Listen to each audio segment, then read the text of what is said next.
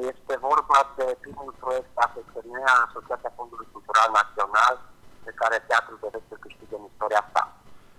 E vorba de un proiect, se numește Reșuța 500, va fi un proiect teatral în care vom realiza un spectacol despre cum va arăta Reșuța peste 250 de ani. Deci va fi un spectacol SF, vom folosi holograme în el lansăm un concurs de dramaturgie chiar începând cu ziua de astăzi.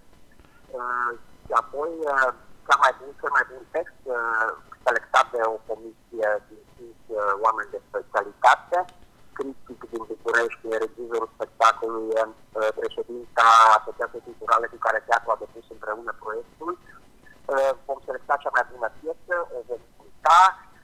Următoarele două vor fi împreună cu cea selectată, vor fi tipărite într-un volum cu ajutorul Bibliotecii Județene Paul Iorgovici. Volumul se va fi transmis pe tuturor bibliotecilor județene din țară și uh, tuturor teatrelor. Proiectul din 85 de proiecte de puncte la nivel național, proiectul Reșița 500 a clasat pe locul 5. O poziție, zic eu, onorantă și sper ca și spectacolul să se ridice la nivelul așteptărilor noastre.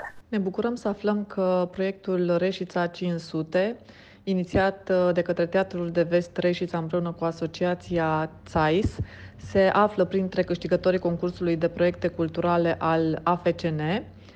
Biblioteca Județeană Paul Iorgovici Caraș Severin este partener al Teatrului de Vest uh, Reșița în cadrul acestui proiect, susținând concursul de dramaturgie cu tema Reșița 500, prin tipărirea unui volum care va cuprinde cele mai reușite lucrări.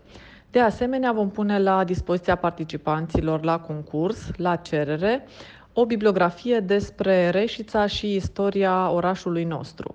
Urăm tuturor participanților mult succes și inspirație!